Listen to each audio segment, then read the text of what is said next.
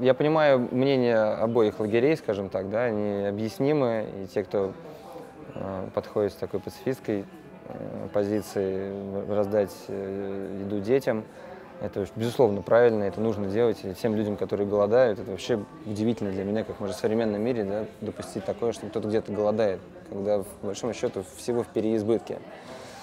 Вот, но я опять же понимаю пол- политическую позицию нашей страны, ну, вообще нашу позицию страны, потому что в данной ситуации нам важно показать свои силы, и мы не можем э, пойти на поводу, потому что от этого зависит очень многое из того, что будет происходить дальше. И мы должны э, какую-то четкую позицию занять, и раз уж мы ее заняли, значит, наверное, нужно все-таки держаться, придерживаться ее, чтобы не развалить все это. Э, Ну, сложно рас- рассуждать об этом, сидя на мягком диване, когда кто-то действительно где-то голодает. Не знаю. Не знаю, к чему это приведет, честно говоря.